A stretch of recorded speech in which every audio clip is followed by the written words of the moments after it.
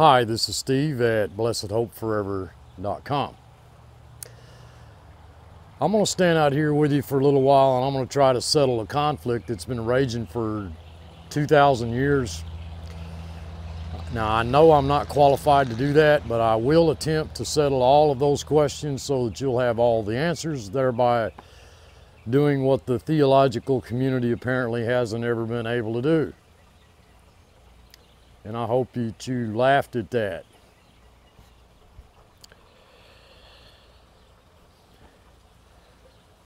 It seems as though people come up with physical illustrations of what they believe to be theological truth.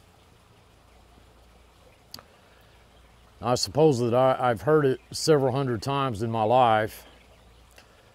There are two ways to get to heaven.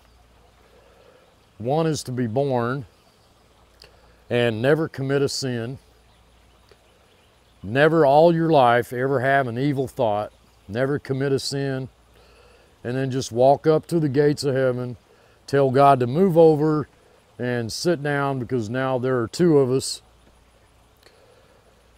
And I hope you laughed at that.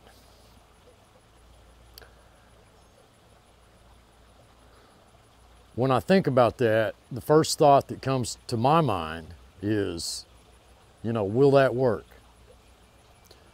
You know, am I omniscient? No. Am I eternal? No. Am I omnipotent? No. Am I omnipresent? No. So how could I say to God, move over? There are two of us. But there is a more basic consideration in all of the attributes of God that I've mentioned. One that I left out. Would I be righteous? Would I be righteous? I'm more than willing to admit that I would be innocent, but would I be righteous? And the problem is, again, it's a man made illustration. And I don't believe it carries any biblical truth. And then I hear cases where, you know, you know, maybe you've heard it you walk down a hall and there's a door. You have absolute free choice, absolute free will. You can open that door and enter, or you can pass by and not enter. Absolutely up to you. It's totally your free choice. And if you enter, it's heaven. And on the other side of the door, there's a sign that says, chosen in Christ before the foundation of the world. by golly, I'm glad I opened that door. And there we have the great conflict between your total free will to open the door, and on the other side it says, chosen in Christ before the foundation of the world. And now we have this great paradox between man's free will and God's sovereignty. People are even preaching about the sovereignty of man. You know, that's what you say basically when you say that he has free will. He's sovereign when he has total free choice. Some renowned evangelist says, well, one thing you got to realize in the scriptures is God never overrules man's will. And you kind of scratch your head and you say, boy, that's an interesting thought, but is it biblical? Can any, anybody establish a biblical basis for such a conclusion? And then we hear comments like, well, you know, you got to understand, you know, that if I paid your debt and you didn't accept that payment, the debt isn't paid. And you sit and you think about that for a moment. And you think, well, if it's paid, don't make no difference whether I accept it or not. I mean, I owe I owe a million dollars, you pay it, whoever I owed it to has no legal right to collect it again from me. Fact is, it was paid. and, and my acceptance of it doesn't determine whether or not it was paid. And folks, what I'd like to do is avoid all of these illustrations. I have had over the years, I've had any number of ministers say to me, well, okay, Steve, if you were locked in a jail cell and I paid your fine and they came down and unlocked the door, you're not free unless you walk out. And I'd think about that. Why am I not free if I choose to sit there for some silly reason? I'm still a free man. And then they'll use illustrations like, all right, I give you a brand new car, and here's the key. But until you go down and you put it in the ignition, you don't have the car. I, that's crazy. I got the car. I can sit there and I can look at that car until it rusts away. It's my car. I don't have to drive it to make it my car. And folks, I could go on and on and on with these illustrations. I've heard them all. All of them leading to some kind of a paradox. The typical solution to this so-called paradox, and I'm going to suggest before we're through here, I think this is going to be a three-part series that you can make any paradox you want based upon your presuppositions. If you presume that man has a free will, you now have a paradox between man's free will and God's sovereignty. And I freely admit that the problem is I have deep disagreement with your presuppositions, and that's what I want to that's what I want to look at. scripturally, I really don't, I, I don't know where to begin, but I'd like to build a body of scripture to establish what I believe to be a basic biblical principle. Man highly exalts his free will. And I've done this before with you. This, this isn't basically a uh, study on free will. I've, I've done a few of those videos and you can find them in one of the playlists. I've also done videos on God's sovereignty. I do find it amazing that few people seem to understand that the definition of will is desire. If you go to a dictionary, one of the synonyms that they will give you for will is desire and somebody says, Well, I can desire anything I want. But you see, want and desire are the same thing. What you're saying to me is, I can desire anything I desire. And, folks, that's circular reasoning. I, I agree with that. I, if you desire it, you can sure desire it. But what if you don't desire it? What if you don't desire it? That's where I want to begin in Scripture.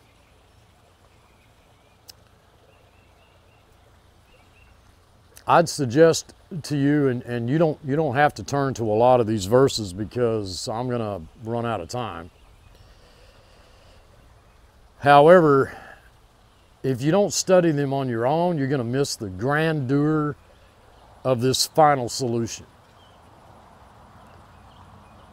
Because it seems to me the typical solution today is to try to get you back into some scientific understanding that God is not limited by time. You know, the illustration is used that, that God is outside of time, and that comes down to a simple solution to this whole so called paradox that, that God knew ahead of time. You know, because he's, he's outside of time and he sees the whole picture he knew what you would choose. And so the typical evangelical conservative solution appears to be today God's foreknowledge you know, by definition, foreknowledge being his knowing ahead of time what you're going to do when you're presented with that choice.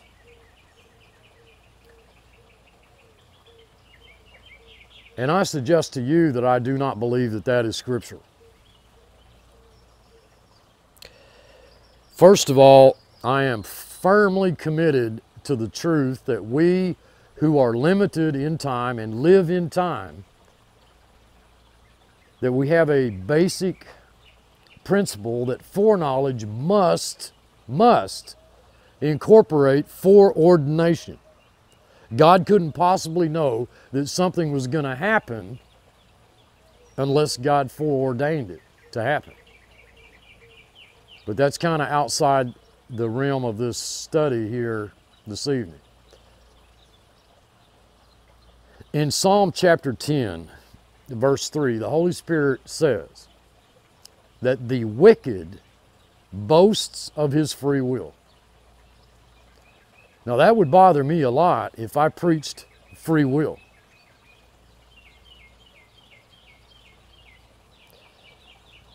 I don't know how many names that God calls us. I do know that He never calls us wicked. He never calls us sinner. He never calls us wicked. He, he never calls us unrighteous. But the wicked boasts of his free will, and I hear it every day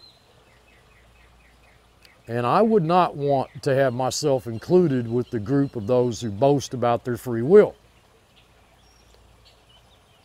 But, dearly beloved, the problem gets worse than that.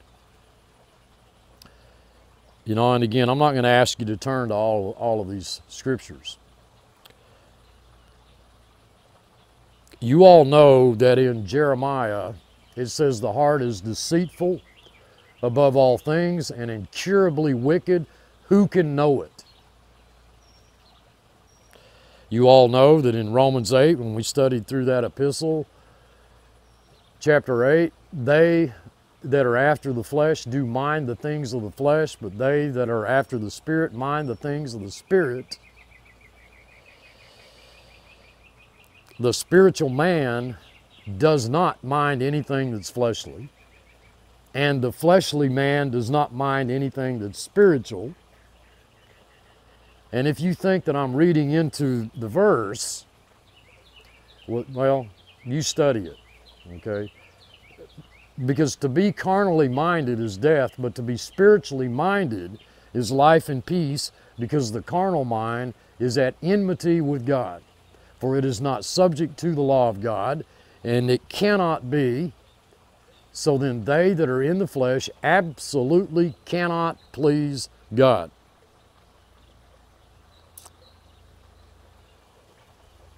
Okay, so I have a mind that's at enmity with God, and I absolutely cannot, in that condition, please God.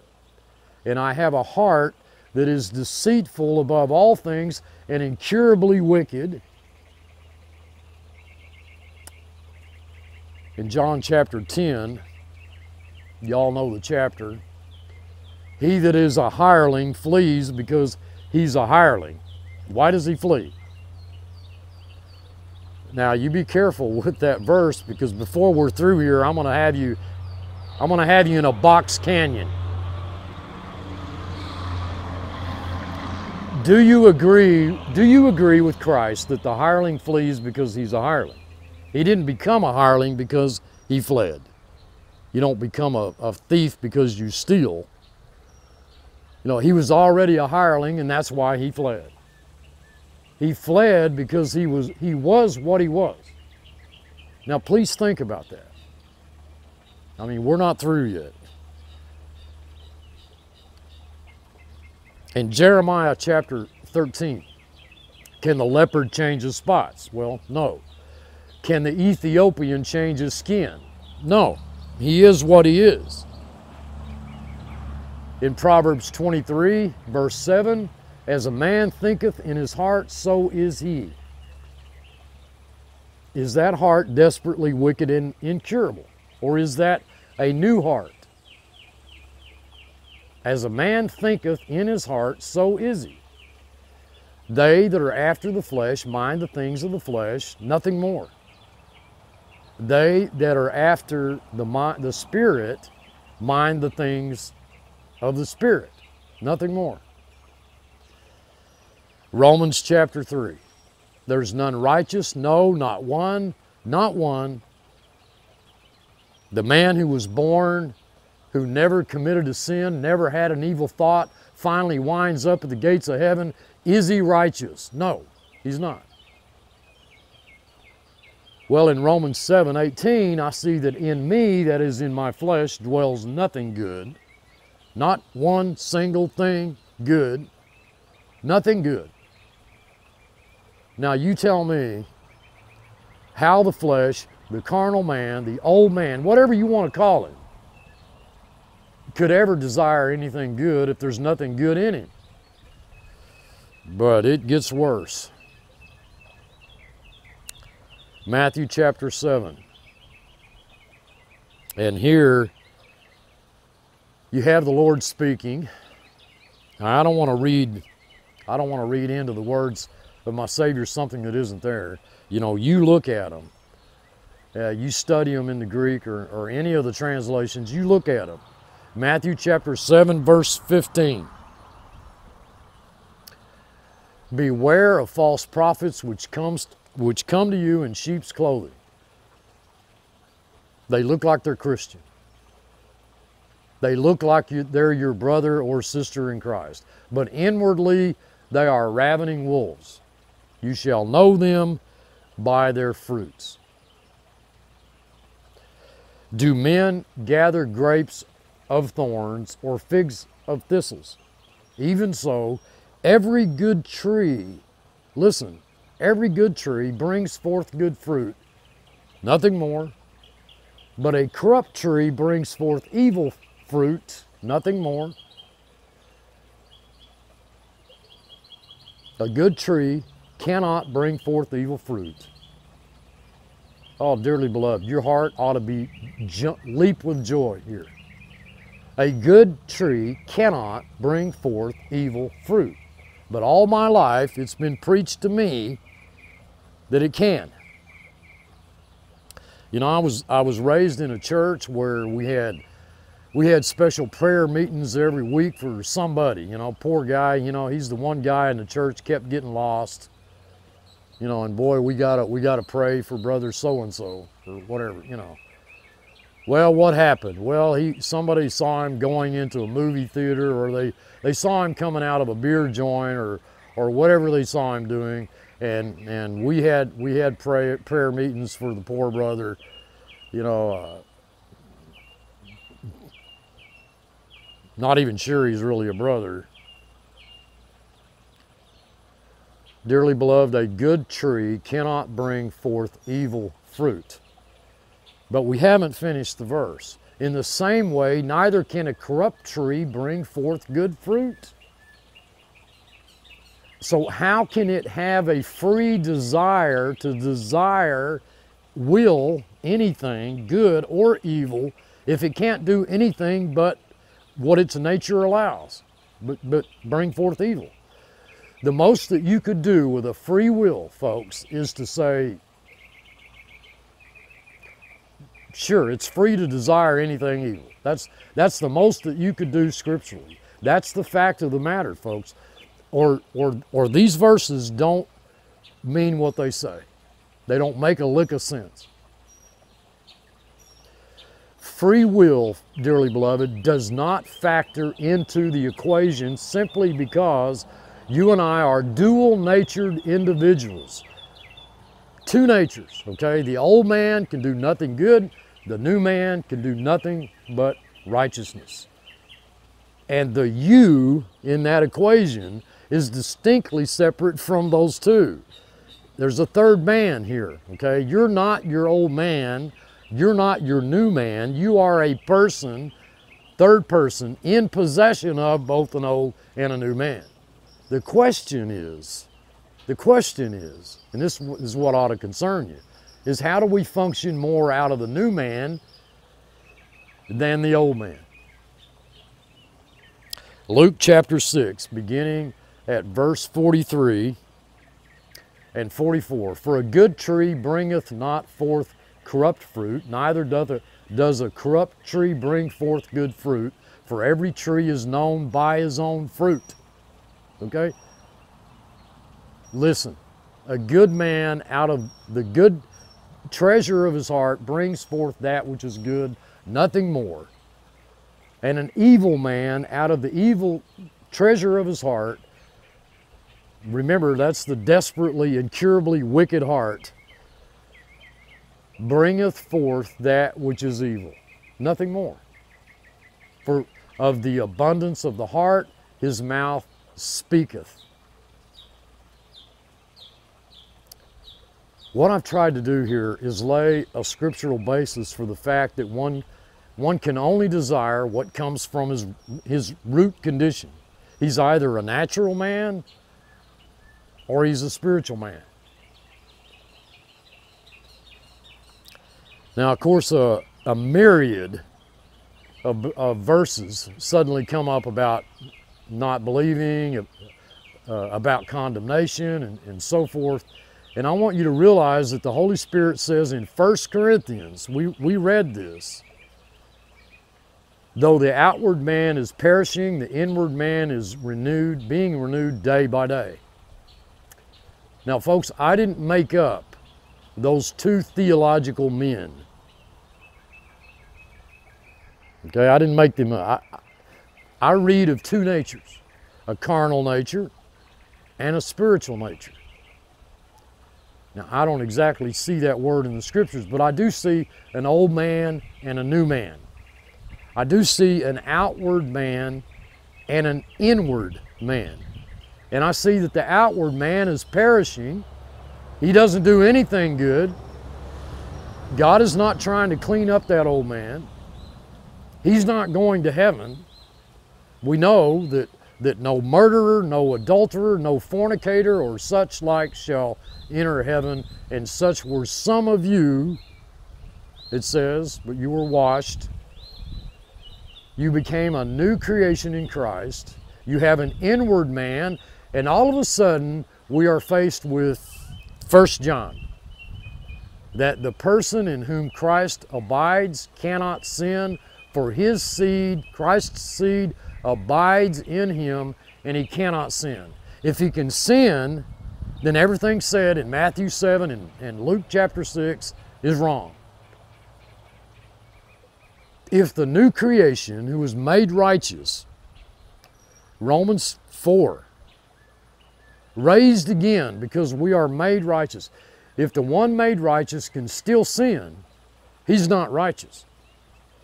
Because the Word of God says that righteousness cannot bring forth unrighteousness. Neither can unrighteousness bring forth righteousness. In 1 John, he that doeth righteousness is righteous. Now, doesn't that bring us back to the hireling fleeing because he is a hireling? What's the solution? The solution that's posited today, based upon some assumption that God can see the end from the beginning, Therefore, He knows what your free will is going to do. Uh, what is your free will, folks, going to do when you're totally evil, carnal, fleshly? Until you're a new creation, where have you got anything that's going to desire good? All you've got is something that brings forth nothing but evil. The works of the flesh are these. We read, they're manifest in Galatians chapter 5. And you've got the whole list of them there. None of them good. The solution is not that God saw that you were going to do something, but, but that you are His. And somehow the choosing, though it says chosen in Him before the foundation of the world, I mean, that ought to be that ought to be a slight hint.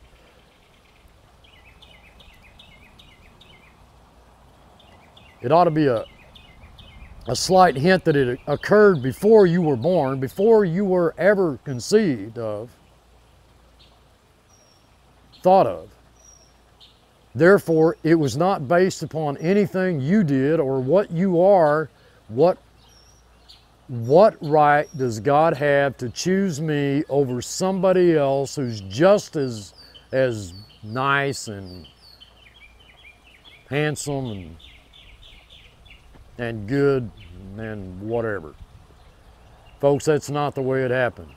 Not only was I chosen in Him before the foundation of the world, but it was by birth. Birth.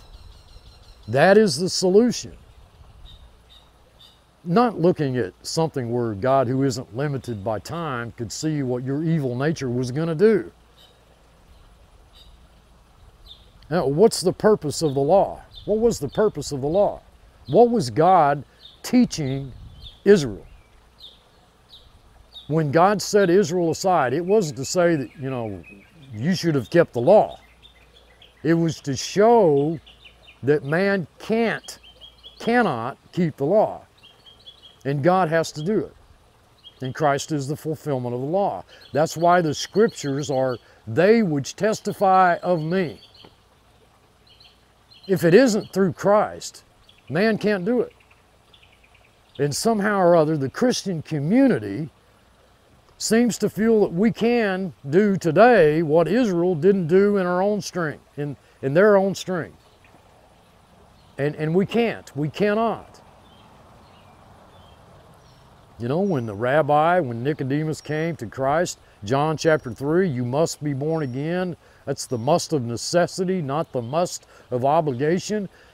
And somehow or other in modern evangelism, you know, and, and it's in the last hundred years, we have somehow twisted our own language and our own understanding of words to conclude that there is synergism between the baby and the mother, between the child and his parents. You know, boy, am I glad I told you, you, you, mom, mom and dad. You know, I'm glad I told you guys to get together and have me. I, folks, the language itself would not support such a thing. Why did God choose birth to illustrate our, our relationship with Him? Why? Because clearly the decision is up to the parents. And Nicodemus, as a rabbi, sh- should know that you must be born again. So Christ either said to Nicodemus, You must be born from above, where Nicodemus had no synergism in that birth, or you must be born a second time, just like you were the first time. And, and in the first birth, he had no synergism, he had no choice, only his parents. So whether you take it as from above, from the power of God, or a second time, apparently Nicodemus, well, you know, he took it, he took it as a second time. And Christ was talking about spiritual truth. But where does one get a desire, a will? Don't use the word will separate from desire. You desire what you desire. You do not desire what you do not desire.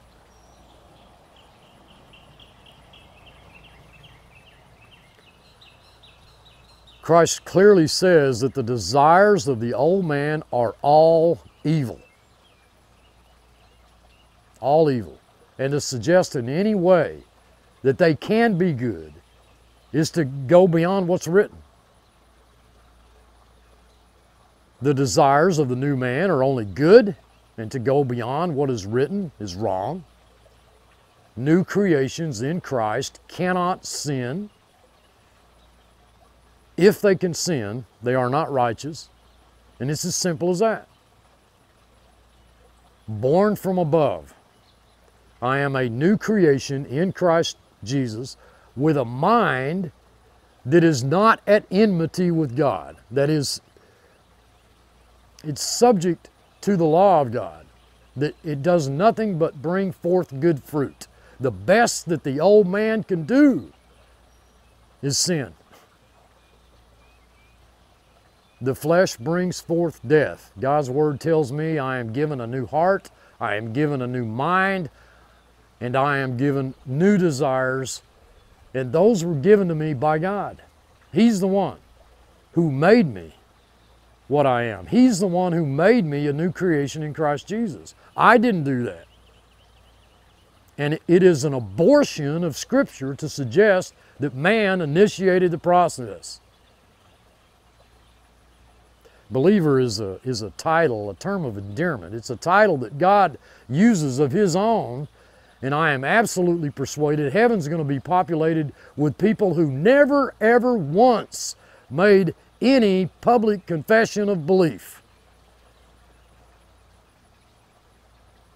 If the character of the new creation is believer, then he's a believer. It doesn't matter whether he ever believes or not.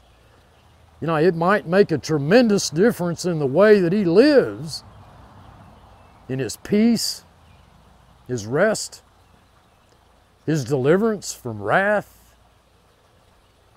All of that might make a huge difference in his peace and his joy and in his happiness. But it doesn't change the fact that he's a believer. We are believers because, not because we believe, because we're born of the Spirit, and the title God uses is a grand and glorious title, and I believe it applies to the baby that died in childbirth, as well as the soldier in North Korea who never ever heard the gospel. But he's a new creation in Christ Jesus. Never knew it so that God will declare some from every nation, kindred, tribe, and tongue. Meanwhile, modern evangelism remains convinced that man is sovereign, not God. Concerning new birth, if you believe in free will, if you believe in free will, you believe that man is sovereign, not God. Dearly, dearly beloved, we're always looking unto Jesus, the author and the finisher of our faith. Hebrews 12 2. Yet almost every church that I have stepped into since I was five years old wants me, wanted me to believe, wants me to believe that I, I was the author and I'm the finisher. And you may not find much disagreement to Christ being the finisher, but you say he's the author, and folks, you've trespassed on sacred ground. The sovereignty of God in redemption was tossed aside for non existent, it was traded for non existent free will long before you and I ever arrived on the scene. You were born into a multi generational lie while the truth remains woven throughout the tapestry of Scripture. Look, I love you all. I truly do. Rest in Him. Until next time, this is Steve. Thanks for watching. Gracious Heavenly Father, I just come into your presence by means of our Lord Jesus Christ and in the Holy Spirit. So thankful that we are who we are, new creations in Christ that you love us, that you guide us, that you teach us. I ask that you would filter out all of that which is foolish, seal to our hearts only that which is truth. For it's in Christ's name I pray. Amen.